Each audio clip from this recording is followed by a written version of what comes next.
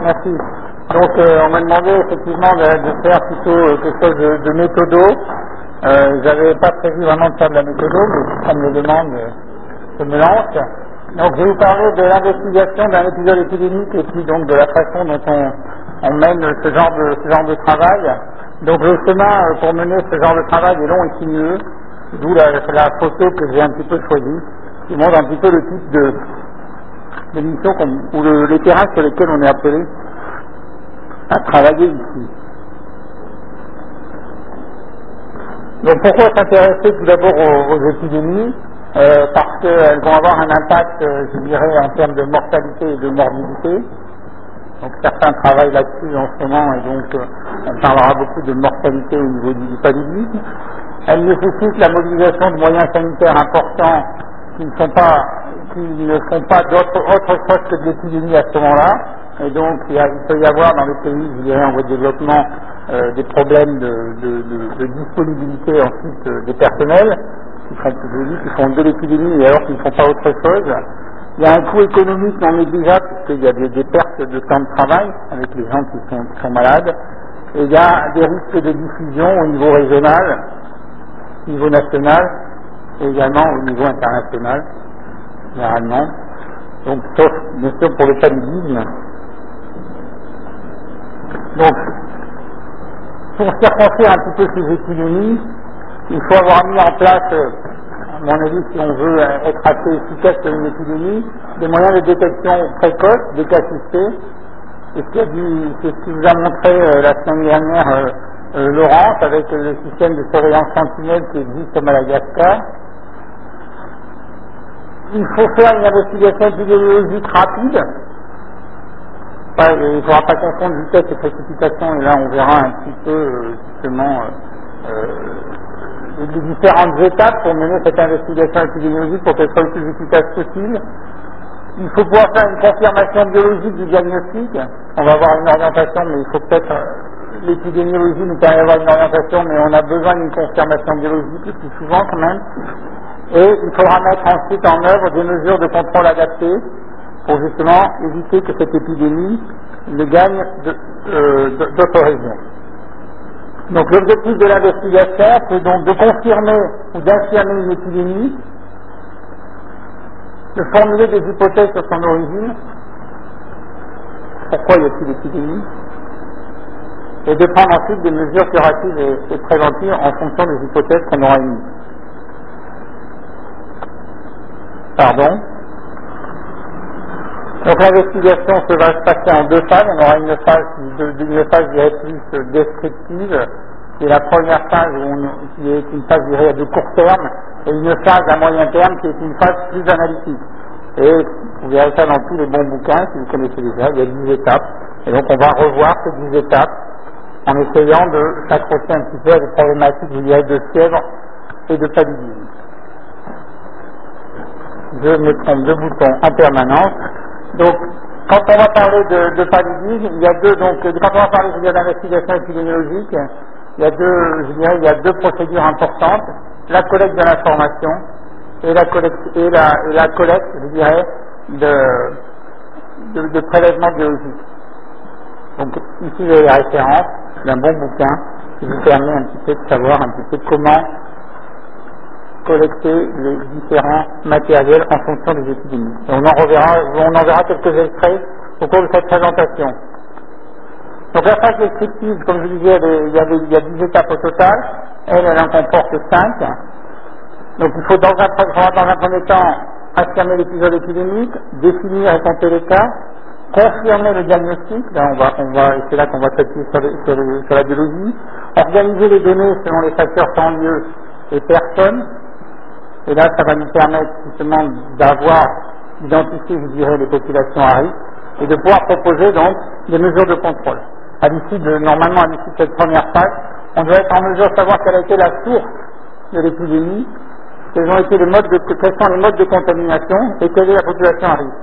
Pour proposer, je dirais, des mesures de contrôle de cette épidémie. Ensuite, on va avoir une phase analytique, puisqu'on, suite à cette première, première phase rapide, on va ensuite formuler des hypothèses on va essayer de tester les hypothèses Et généralement, donc, ce qu'on va faire, on va faire des analyses, des études cas témoins, ce qu'on voit souvent dans les, dans les études, les analyses complémentaires sur l'exemple plus souvent pris, c'est cette question alimentaire collective, on fait des études cas témoins, c'est l'étude d'Oswego qu'on retrouve dans, dans Info, pour ceux qui auraient sur Info. Donc ça, c'est les études cas témoins pour essayer d'identifier, des facteurs de risque de cas par rapport à les témoins. Ensuite, il y aura la rédaction d'un rapport, et là on verra l'importance de la rédaction de ce rapport, et enfin, la mise en place de mesures, je dirais, sur plus long terme pour éviter que ce type d'épidémie ne se reproduise. Hein, quand on est à ce stade, je dirais, de l'investigation d'une épidémie, euh, les mesures qu'on va proposer ici, euh, généralement, l'épidémie est bien passée, puisqu'on a fait des études cas témoins, et donc les mesures qui seront à, mettre en place sont des mesures, je sur du long terme, pour éviter justement euh, de voir se reproduire ce genre de phénomène dans les, collectivités. Donc en amont de l'investigation, je vous disais tout à l'heure, il faut avoir un système qui nous permette de détecter une alerte. Donc là, j'ai pris un exemple de paludisme dans Madagascar, et on relit dans certains rapports euh, qu'il y avait des, donc en termes de morbidité, il faut trouver des indicateurs, et là, on avait, l'impression de voir une reprise de la transmission d'une population non immunes, et pour le paludisme, en fait, qui les a amenés à penser à une une épidémie de paludisme, c'était l'explosion de la mortalité hein, à partir de 1985. Donc ça, c'est les données, vous voyez, tapées à la machine. Donc c'est vraiment des rapports de l'époque. Donc pour affirmer l'épidémie, qu'est-ce que l'on va faire? Donc une épidémie, il faut savoir que c'est différent d'un cas sporadique et c'est différent de ce qui est une endémie. D'accord? Je pense que tout ça, c'est des termes que vous connaissez tous, mais je voulais les rappeler. Et on va rappeler un petit peu ce que c'est qu'une épidémie. C'est une augmentation du nombre de cas d'une maladie. Donc le problème de, définir cette augmentation du nombre de cas de maladie, c'est que souvent on ne connaît pas le nombre habituel, d'où la nécessité d'un, je dirais, d'un système de surveillance qui nous permet d'avoir un nombre habituel et qui nous permet également de définir des seuils. Et pour avoir des seuils, il faut avoir des données suffisamment de, plusieurs années pour pouvoir définir, dirais, des, moyennes, des intervalles de confiance, et pouvoir se dire, voilà, le seuil, pour telle raison, est à tel niveau.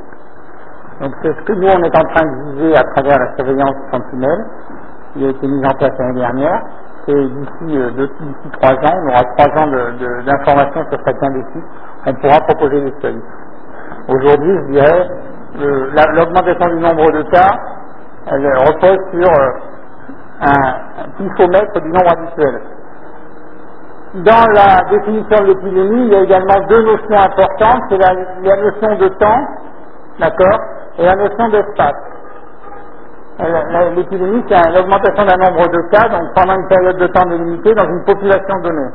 Et cette notion de temps et d'espace vont permettre de calculer des taux d'incidence et sur une épidémie, puisque c'est sur des temps plus courts, on va parler de taux d'attaque.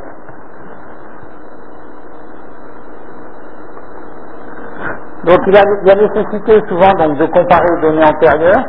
Et là, j'ai repris donc un, article qui, nous parle de paludisme, d'une épidémie qui a eu lieu euh, dans les, dans les de Mal. Et en 98, on voit bien donc l'augmentation par rapport aux données, je dirais, des années précédentes. Et pour pouvoir comparer aux données antérieures, il faut soit regarder les revues des hôpitaux, soit on a des données de laboratoire, soit on contacte les médecins. Alors nous ici, généralement, quand on a des, problèmes d'épidémie, on va essayer d'aller voir les, centres de santé et récupérer, je dirais, leurs données, euh, leurs données historiques ou leurs données des, semaines précédentes pour savoir un petit peu ce qui s'est passé dans les semaines précédentes, essayer de retracer ces courbes épidémiques à travers donc euh, à travers les registres de consultation. C'est un travail, je dirais, long, difficile et, des fois peu productif. Donc le plus dur ensuite, ça va être de définir les cas. On a deux façons pour définir des cas. Il va falloir, comme on a dit tout à l'heure, donc on vient de, on vient de, on a une alerte, on reconnaît que c'est une épidémie, et maintenant on va essayer d'aller sur l'épidémie pour aller compter les cas. Mais avant de compter les cas, il faut peut-être définir les cas. D'accord? Donc soit on prend une définition officielle, soit on crée sa propre définition. Donc les définitions officielles, vous les trouverez très facilement dans les nombres coordonnés par l'OMS pour la surveillance. Voilà, voilà les références. C'est sur Internet. C'est téléchargeable. Et alors, il y a l'exemple, les, de la dingue, d'accord? C'est une maladie fébrile aiguë d'une durée comprise entre 2 et 7 jours et s'accompagnant d'au moins deux des symptômes suivants, d'accord, que vous connaissez, c'est aller, hein, et des critères de laboratoire pour le diagnostic. J'avais pris l'exemple, j'ai pris l'exemple de la dingue parce que sur, le paludisme, eh bien, toute la partie, euh, la partie clinique de la définition est, est, est assez limitée puisqu'elle elle est, euh, elle laisse à chaque pays euh, le soin de définir euh, ses propres critères cliniques. Et donc, euh, on en arrive à critère égal paludisme, qui est quand même assez large comme définition. Et donc, avec un critère de laboratoire pour le diagnostic, qui aujourd'hui pour le paludisme serait le test de diagnostic rapide ou, ou la goutte épaisse. Voilà, positive. D'accord?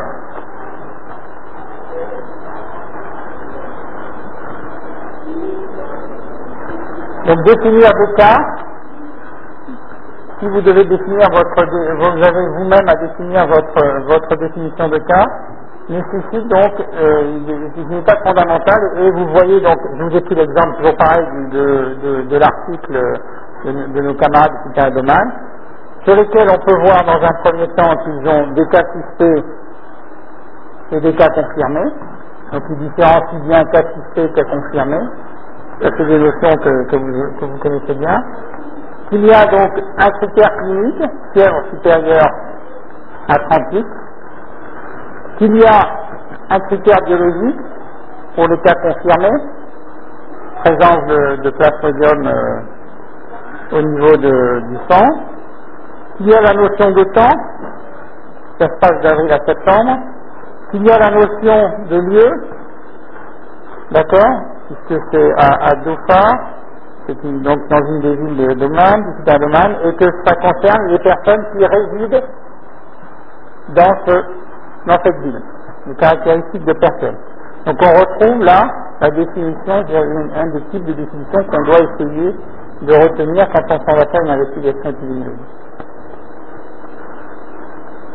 Donc les cas certains, faciles, le diagnostic repose sur l'isolement de l'agent causal et sur, et des tests donc sérologiques spécifiques. Donc on part sur des cas, il va falloir prendre des cas cliniques, à partir de ces cas cliniques, on va faire des prélèvements pour pouvoir avoir des cas certains. Le plus facile, c'est effectivement quand on peut avoir des cas certains, car à partir de là, on peut effectivement tracer une véritable courbe épidémiologique, épidémique, et on est sûr de ne pas être, je veux dire, euh, être critiqué sur le fait que les cas qu'on a pu faire rentrer n'étaient pas forcément des cas certains et qu'on a, qu'on travaille que sur des cas possibles, des cas probables. On peut tracer une, je dirais, on tracerait pour le paludisme, qui m'intéresse qu'à fièvre égale paludisme, en fait, je tracerais la courbe des fièvres euh, dans une zone qui n'est pas forcément liée à, une, une épidémie de paludisme. Donc les cas certains pour le paludisme, c'est les cas cliniques avec test génétique rapide et. Pour la dengue, c'est les cas qu'on a vus tout à l'heure, qui sont confirmés par le laboratoire. On a les cas probables, on va toujours pareil, avec un ensemble de critères cliniques ou biologiques de présomption. Je vais donner l'exemple de la dengue. Donc pareil, hein, c'est pour essayer d'avoir un diagnostic différentiel. On, va se retrouver sur la problématique de fièvre quand on va parler de paludisme. Donc je pense que l'exemple de la dengue est, bien choisi pour, euh, controverser euh, la, partie paludisme. Et les cas possibles, généralement, euh, sont basés que sur les critères cliniques. et généralement, on essaie de ne pas les faire rentrer dans l'analyse. D'accord? Parce que mais parfois, on n'a que ça. On n'a pas de prélèvement, on ne peut pas faire de prélèvement, et, euh, et, quand on va, quand on va par, par exemple rentrer dans les, dans les, euh, dans les données statistiques ou dans les, dans les rapports des registres de consultation des CSD, on ne va retrouver que des critères cliniques, et on va travailler sur des cas possibles. On va, tra on va tracer une courbe épidémique à partir uniquement des cas possibles. Donc le risque à ce stade, c'est d'avoir une définition trop large. Donc j'inclus trop de cas, hein, je prends les cas possibles, donc j'ai énormément de faux et donc j'ai des biais qui vont peut-être m'empêcher d'identifier correctement la source, la source de contamination. Ce moment-là, je, risque d'avoir du mal à, dire, euh, voilà, la, source, la source de la contamination, c'est tel, tel, facteur, parce que j'aurais pris trop de cas. Et si j'ai une définition trop restrictive, par contre, je risque de ne pas pouvoir conclure parce que je vais manquer de puissance, je n'aurai pas suffisamment de cas. Donc il va falloir trouver, je la bonne mesure entre une définition trop large et une définition trop restrictive. Hein, et c'est donc les cas probables qui vont nous permettre de mieux de jouer un petit peu sur, euh, sur, sur cette euh, sur, les, sur nos effectifs. Donc il faut sélectionner des critères simples et précis, sont facilement mesurables, facilement reproductibles, et privilégier, autant que faire se peut, les définitions officielles. Donc toujours avoir sous le coude, donc dans sa machine, je dirais, les, référentiels OMS qui permettent de, des, définitions officielles et qui permettent également de comparer euh, ce qu'on fait nous euh, en tant qu'investigation épidémiologique avec des investigations qui ont été faites ailleurs, qui ont repris exactement les mêmes définitions. Donc là, on peut comparer nos résultats dans les discussions avec les résultats d'autres études. Si chacun prend ces définitions, ça, ça devient un peu plus compliqué. Donc ensuite, il ne nous reste plus qu'à compter les cas, maintenant qu'on les a définis, on n'a plus qu'à aller sur le terrain, ça a été vite. Et maintenant, donc, on va s'intéresser essentiellement pour compter les cas à vos formes symptomatiques. Hein. Dans un premier temps, les formes asymptomatiques, je veux dire, ne nous intéressent pas tellement, puisque d'abord elles sont difficiles à définir, à retrouver, et nécessitent pour avoir, je dirais, pour avoir le, pour avoir un diagnostic, de faire un prélèvement biologique. Donc nous, ce qu'on fait, on ne sait toujours pas ce que c'est, on, va, on va connaître un petit peu les, les, facteurs cliniques responsables de la maladie on va essayer d'identifier au mieux les cas sur lesquels on va faire des prélèvements pour être sûr que les prélèvements que l'on va faire soient positifs. Ce n'est pas la peine de revenir avec euh, une, tonne de prélèvements que le laboratoire ne pourra pas traiter. Donc pareil, il, va falloir serrer un petit peu les priorités. Et euh, on est, je vous dis, hein, c'est toujours on est dans l'urgence, hein, il faut que ce soit rapide. Donc, euh, on va s'intéresser essentiellement aux formes symptomatiques. On va s'intéresser donc à la maladie. On va essayer de, voir quels sont les signes, quels sont les signes de la maladie. Donc, on va essayer d'avoir un listing rapide. On va interroger plusieurs médecins et on va leur demander quels sont les signes qu'ont présenté vos, vos, malades ou ceux qui ont été le plus gravement atteints. Et à partir de là, on va essayer d'en faire une définition pour essayer de trier les malades sur lesquels on va centrer nos prélèvements. On va essayer de savoir quelle est la date de début, quelle a été la, la durée de la maladie, quelle est la sévérité, quels ont été les traitements qui ont été reçus, et ont été surtout l'efficacité de ces traitements reçus. En fonction des traitements, si on donne un traitement antipallidique à quelqu'un et que ça marche pas, on va, penser que c'est pas forcément du pallidique. On va essayer d'avoir des données démographiques en fonction de l'âge, du sexe, donc les adresses, les catégories socio-économiques, les professions, et on va essayer, on va essayer également de récolter des, des dénominateurs, pour calculer donc des taux d'attaque, des taux d'incidence. On a besoin de savoir la population dans laquelle l'épidémie a eu lieu. On va pas simplement compter les cas, mais il va falloir essayer de récupérer sur le terrain, au niveau des CSD, souvent ils savent quelle est leur population, la population type du CSD. Ou au niveau d'une municipalité, on va aller voir les autorités euh, locales pour savoir quelle est la taille, la taille du village, combien il y a de personnes dans le village. Ensuite, on va confirmer le diagnostic. Donc, comme je vous l'ai dit tout à l'heure, le, diagnostic, ben, on le confirme grâce au prélèvement. D'accord L'épidémiologie, il peut vous donner des infos sur les cas cliniques, mais il a, seuls les prélèvements nous permettront donc de confirmer un diagnostic. Alors, soit ce sera une sérologie, soit ce sera l'isolement de l'agent causal, à travers du puits, du sang, des sels. Ça peut être également, je dirais, là on est passé sur des maladies, euh, sur des maladies plutôt, euh, plutôt infectieuses, mais ça peut être également une recherche de toxiques. Et on peut également euh, essayer d'envisager, en fonction de l'orientation diagnostique qu'on a, des prélèvements environnementaux. Donc, vous voyez bien que tout ça, ça demande donc de, de, partir finalement avec le, bon, matériel. Donc voilà quelques. Là, j'ai repris donc pareil le, je le bouquin de, de. Donc euh, sur les diarrhées, on va suspecter donc différentes écologies. Et euh, les prélèvements qu'on fera sont essentiellement des prélèvements de sel sur lesquels on pourra faire de la bactério, de la viro ou de la parasito. D'accord? Donc ça, ça vous paraît simple, mais il faut y penser, donc on va essayer de... Et ça, un petit peu, je dirais, la liste des, agents potentiels responsables d'une épidémie de diarrhée. Si on prend, une, si on prend un, autre, euh, un autre exemple sur les fièvres, les fièvres hémorragiques, là, nos prélèvements peuvent être du sang donc pour euh, du sérum ou euh, des, euh, soit des prélèvements en post-mortem. Savoir que généralement les prélèvements en post-mortem sont plus difficiles à obtenir. Ici, de notre expérience dans Madagascar, on n'a jamais réussi à avoir de, de prélèvements post-mortem. Très très compliqué.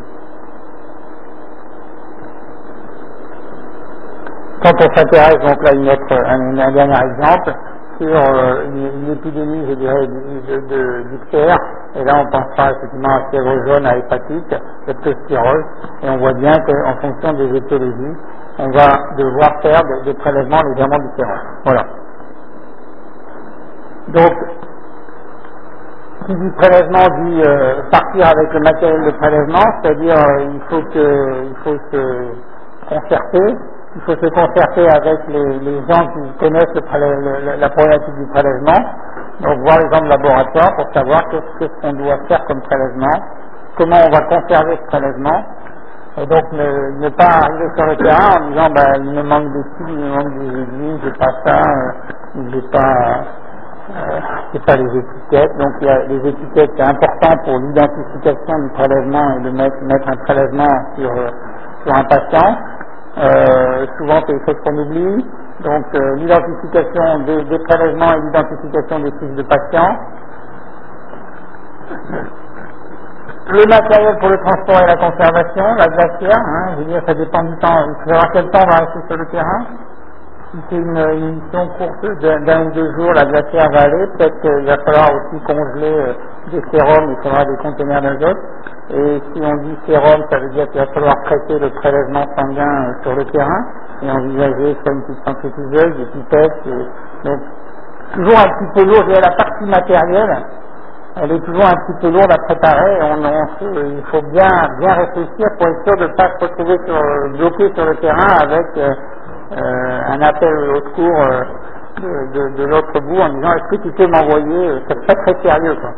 Donc il faut absolument partir avec tout ce qu'il faut, voire plus. Donc ensuite, une fois qu'on aura récupéré toutes ces données, il va falloir les organiser, hein, il va falloir les organiser selon les facteurs toujours pareils, temps, lieu, population. Donc le temps, ça va nous donner une courbe épidémique. Donc euh, toujours le même article de référence, je m'en excuse. Il n'y a pas beaucoup d'articles sur les épidémies, je dirais, de, de paludisme.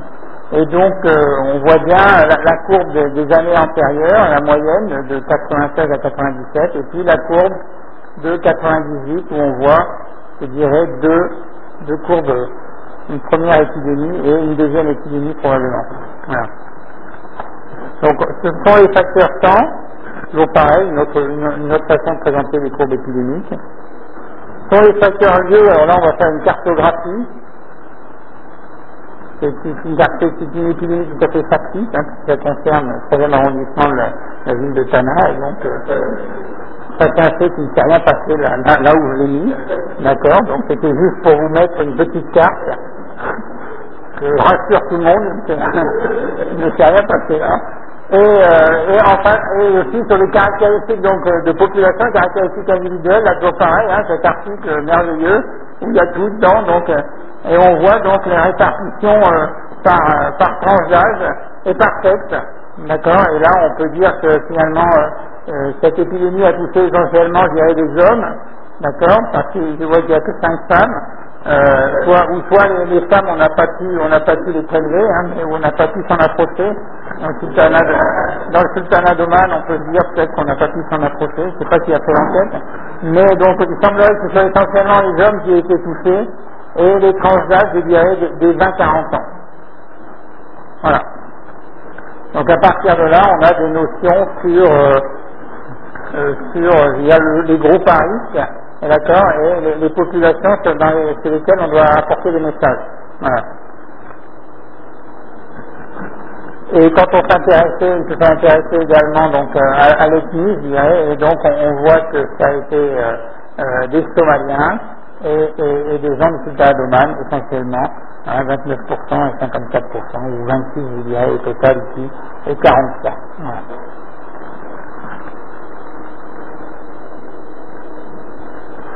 Donc on détermine ensuite la population à risque. Donc là, je reprends différents exemples. Donc vous avez, voilà, ils ont défini la population à risque, c'était donc des Somaliens et, des gens d'origine du sultan. Dans une autre étude ici, euh, c'est des réfugiés en Tanzanie, euh, dans une épidémie dans un camp, c'est passé donc dans un camp de réfugiés de Burundi, euh, et qui touchait essentiellement donc des enfants de moins de 5 ans. Donc là, la population à risque, enfants de moins de 5 ans vivant dans un camp de réfugiés de Burundi. Donc si en Tanzanie, donc si j'ai une action préventive à mener, ça sera dans, je dirais directement dans ces camps de réfugiés, et je m'intéresserai essentiellement à cette population d'enfants de moins de 5 ans. Voilà, donc ensuite je formule des hypothèses. Pour formuler les hypothèses, je vous ai pris un exemple d'articles de, qu'on trouve, les articles les plus récents aujourd'hui, c'est essentiel, ça concerne essentiellement les militaires, euh, qui font des, épidémies de, épidémies de, paludisme quand ils arrivent en, en, Afrique, hein, parce que ce sont des populations euh, non immunes, et euh, donc c'est des voyageurs, et généralement donc euh, euh dans, l'hypothèse qu'avaient fait donc, les, les, les Britanniques dans, cette étude, c'était que leurs hommes ne, prenaient pas les, n'appliquaient pas les mesures de, de signaux prophylactiques, donc voilà, il y a une épidémie. Ils confondent l'hypothèse avec l'effet eh ben, ils, confondent, c'est-à-dire qu'avec ce qu'ils ont comme euh, lors de la première investigation, ils se rendent compte qu'effectivement tous les malades euh, disent ne pas prendre correctement euh, ou leur synoprophylaxie ou les mesures de, de, de les, les, je dirais, etc. Donc à partir de là, on va, se, on va s'interroger, on va faire une étude, je dirais, analytique. Hein, on est rentré en, en, dans la deuxième phase de, de, de notre étude et on fait donc une étude analytique qui peut être soit pour expliquer donc l'exposition, qui peut être soit donc une étude de cas témoins, c'est ce qui qu'ont fait euh, les, les, les anglo-saxons là dans les, les britanniques. Euh, ils ont comparé un groupe de cas, c'est un groupe de malades, avec un groupe de témoins, c'est-à-dire des non malades, et ils ont essayé de voir quelles étaient, quelles étaient leurs expositions, l'exposition aux facteurs, ou quelle était finalement là l'exposition, c'était euh, quelles étaient leurs habitudes ils sont tous exposés, ils sont tous en Leone, quelles sont le, leurs habitudes en matière de, mise en pratique des mesures de signaux prophylactiques ou des mesures de protection telles que les moustiquaires euh, ou les vêtements imprégnés. Donc ils ont montré, euh, donc on, travaille sur une étude, euh, sur une étude cas témoin, donc on trouve des autres ratios et donc ici, on a, je dirais, deux données significatives. C'est euh, la mise en place de, de moustiquaires euh, imprégnés, hein, d'accord, qui ont donc un effet, un, effet protecteur, d'accord. Le ratio est, protecteur pour les non malades, 60% de non malades. Et on a également donc la, la, la mise en place de de, de vêtements imprégnés. Là également, on a 32% des non-malades qui disent le faire versus 18% des, des, malades, donc c'est un petit peu significatif. Et puis, l'utilisation de, de, de, la mise en pratique de 3 à 4 mesures de protection ensemble, hein, vous voyez que ça a un effet euh, fortement, fortement significatif, fortement protecteur.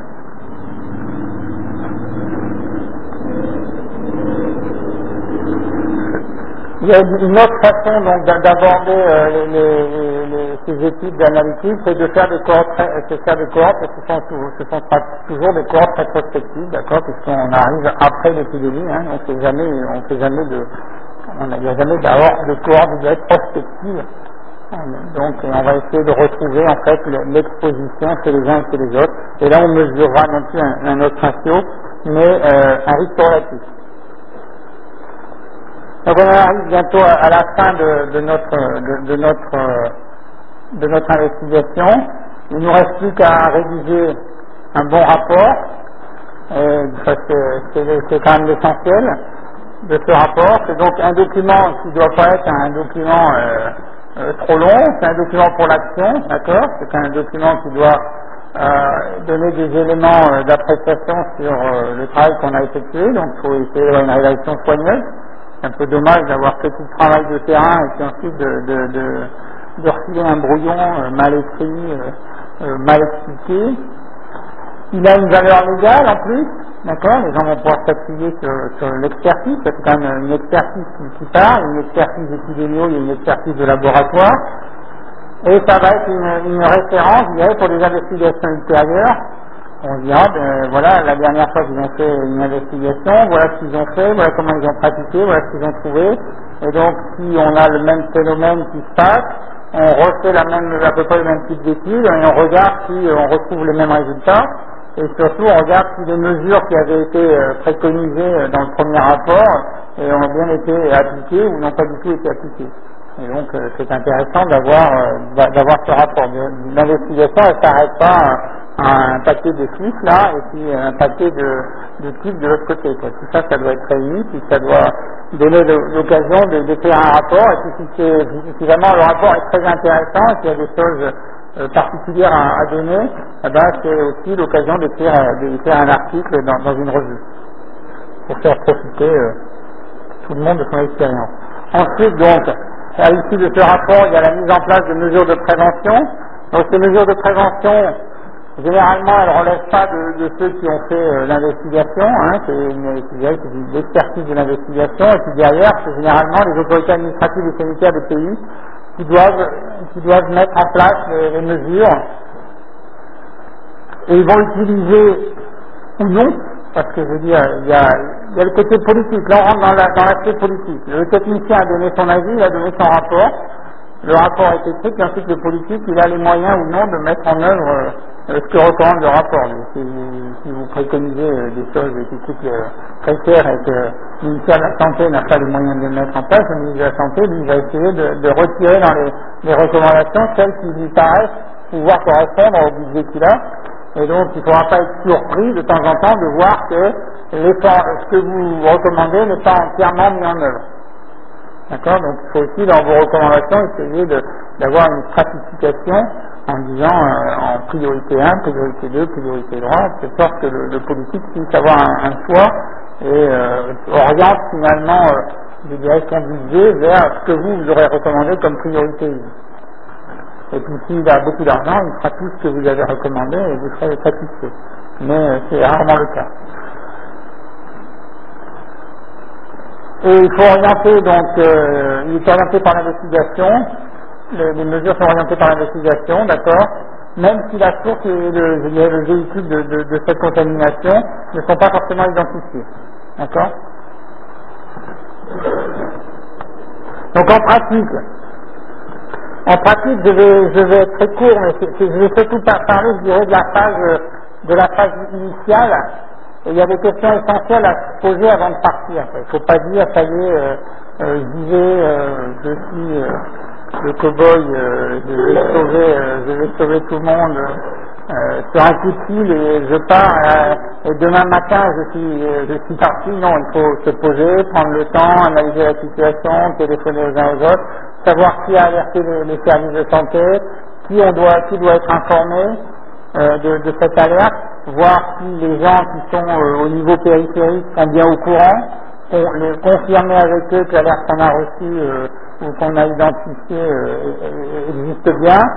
Hein, nous, ici, dès qu'on a une alerte, on, appelle les, les, médecins inspecteurs, on appelle les médecins des CSD, on appelle les, directeurs de santé en région, on appelle le ministère de la Santé, et on essaie d'impliquer les, acteurs du, du système.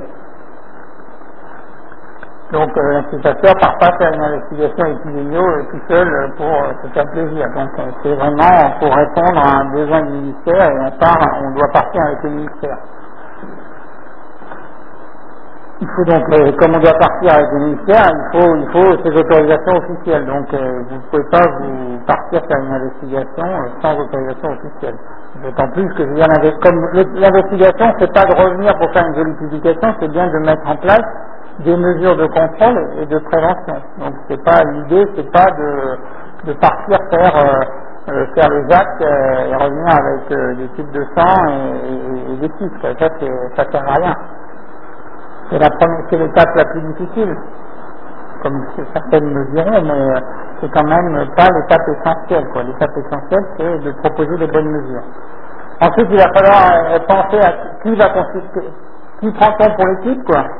D'accord Si moi je peux pas faire le prélèvement, euh, que je trouve des préleveurs, quoi. Et si je dois prélever euh, de l'environnement, il peut-être falloir je prenne des gens qui connaissent en prélèvement d'environnement. Si je dois prélever des animaux, il faut que je prenne des gens qui savent prélever des animaux. Donc moi, je suis médecin, je peux prélever des, hommes, mais je ne peux pas prélever une vache. Donc euh, je vais être obligé d'aller de, de partir avec un vétérinaire. Donc il est très important de savoir euh, avec qui on part et comment on part et qui fera quoi dans l'équipe. D'accord? Ensuite, il faudra savoir qui va diriger l'investigation. D'accord Il faut quelqu'un qui, qui commande un peu, malheureusement. Hein, c'est très, très militaire ça. Donc, mais il faut quand même quelqu'un qui, qui soit un peu euh, aux commandes de l'investigation. Savoir ensuite qui va faire l'analyse, qui va garder les résultats, qui va voilà. Donc tout doit être, tout ça, ça doit, on doit y avoir pensé avant de partir. On sait déjà qui est le porte-parole. C'est qui là C'est celui qui donne les autorisations officielles. C'est lui qui va ensuite diffuser l'information. C'est pas nous qui allons diffuser une information qui dépend de, de cela. D'accord? Donc il faut être très très, il faut être, euh, les résultats appartiennent finalement au, au, au ministère de la Santé.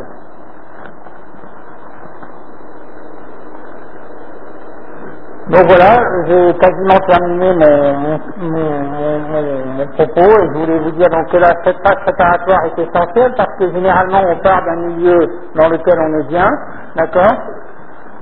Pour aller dans un milieu dans lequel on est moins bien, voilà. Et donc euh, il faut préparer cette mise en condition quand on doit faire une investigation dans un site comme celui-là. Voilà. Je vous remercie de votre attention. C'est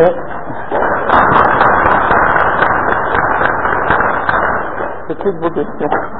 Je vais vous donner une passion pour euh, cette conférence que je vous donne. Que Dieu, que vous avez dit, cette question, la parole est